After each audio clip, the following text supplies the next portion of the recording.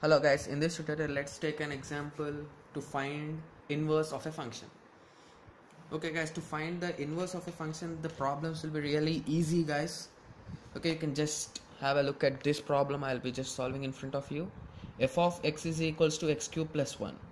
He asked inverse. So the final goal is to find inverse of y. Sorry, inverse of x. Sorry, sorry. Inverse of x is equals to something. We need to find that, right? Okay initially assume the given value this as y. y is equals to x cube plus 1 so slowly find the value of x. x cube is equals to y minus 1 x is equals to y minus 1 whole power 1 by 3 so initially we assumed f of x as y. Right? f of x as y. So y is equals to f of x and write down this value guys. X is equals to f inverse of y. How did i write write those? Write that if you have a doubt.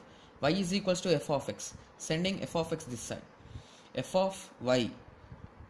F inverse sorry. F inverse of y is equals to x. I hope you understood how i wrote. So this x value you equate it with this. X is equals to this. So replacing y with x f inverse of y is equals to 3 root x minus 1. I hope you understood how the problem is solved. I'll be explaining it once again as if I don't have any other problems to solve in this model. Okay. Given f of x equals to x cube plus 1. So the final goal is to find f inverse of x. So assuming f of x equals to y. So y is equals to x cube plus 1.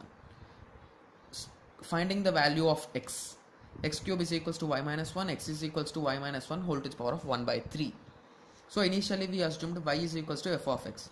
From that we can say f inverse of y is equals to x where x is equals to y minus 1 whole to the power of 1 by 3 replacing y is equals to x we get this. Hence this is the inverse function of the given question.